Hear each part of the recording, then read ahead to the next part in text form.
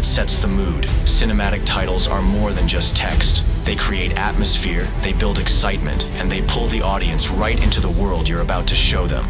In this video, we're going to break down the secrets behind creating cinematic title animations, step by step, inside After Effects. So if you want your projects to look more professional, more powerful, and truly cinematic, you're in the right place. After a long time, welcome back to S Graphics. Let's get started.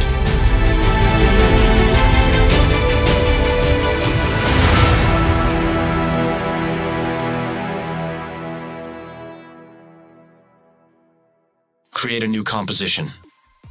I will name it text slash logo. Width and height will be 2160 by 1140, and frame rate will be 30 and 15 seconds long duration. Here I am using Rumble Brave font. Download link is in description. Align it to the center. Create a new composition. Comp name will be text bevel. Drag the text comp into the timeline. Go to the layer style and add inner glow. Open the inner glow and set blend mode to normal. Opacity to 100. And select black color. And change the technique softer to precise and size to 12. Create one more composition. I will name it Shiny Text. Add new solid. Name it Fractal. Go to the Effects panel and search for Fractal Noise and apply it to the fractal layer. Open Transform and Unlink Uniform Scaling. Set height to 4000. Click on Stopwatch for offset turbulence. Go to the last frame and drag the offset turbulence value. And here we have this simple moving animation. Now drag the text bevel comp to the timeline. And change the fractal layer track matte to text bevel. If you can see track matte option, click F4. Now add CC glass effect to fractal layer. Open surface and change bump map to text bevel. Set softness to 5. Height 85. Displacement to negative 500. Open light setting and set light intensity to 250. Light type to point light. And light height to 6. Add one more effect C, C blobbylize open blobbiness, and set blob layer to text bevel. Set softness to 10, cutaway to 0, open light properties, and change light type to point light. And change the light position by moving this point. Now create a rectangle and cover the bottom half. Add Gaussian blur to it, and set blurriness to 200 and set blending mode to overlay and lower the opacity. Now it's looking good.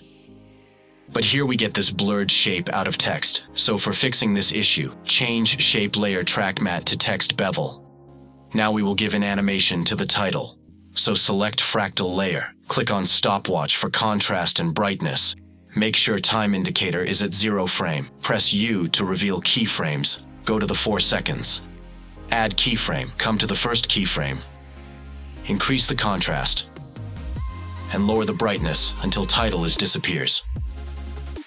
Select this keyframes and hit F9. Here we get this cinematic revealing animation.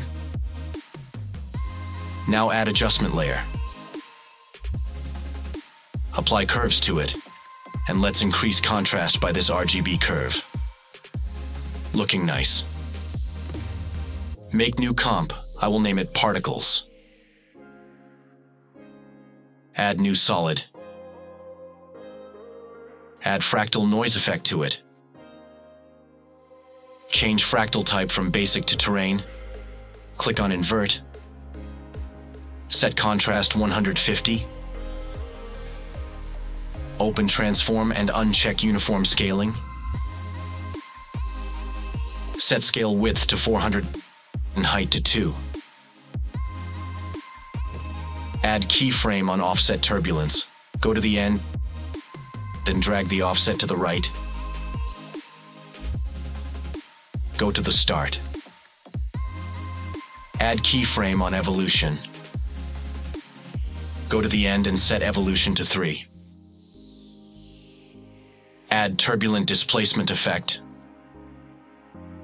Set amount to negative 45. Size to 180-200. Add keyframe on offset. Go to the end and move this point right.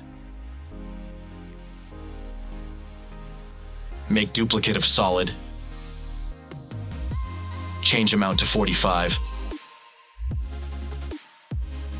And blending mode to add. Now press U to reveal all keyframes. Click on evolution here and increase the evolution. Open transform in effects panel and increase the height. Now make final comp. Add new solid. It will be background. Now place this shiny text comp to the timeline. I think we can make it better. Go to the shiny text composition and drag this contrast keyframe forward. Looking nice. Now adjust the scale. Make duplicate. Select the layer below and add CC radial blur to it. Set type to fading zoom. Set amount to negative 30. Add curves effect. Select alpha channel and drag this to upper left corner. Then select green channel and bring this down. Select blue channel and do the same. And here we will get this red color only. Now select RGB channel and bring this down a little bit. And bring this up. Make one more duplicate, reset the curves, and this time drag this point to the bottom. And in alpha channel, tweak the graph like this, and we will get the shadow behind the text. Now I am changing the layer color so it will be easy to identify the layers. Make one duplicate of top layer and add Gaussian blur to it. And set the blur amount to 100. Change lending mode.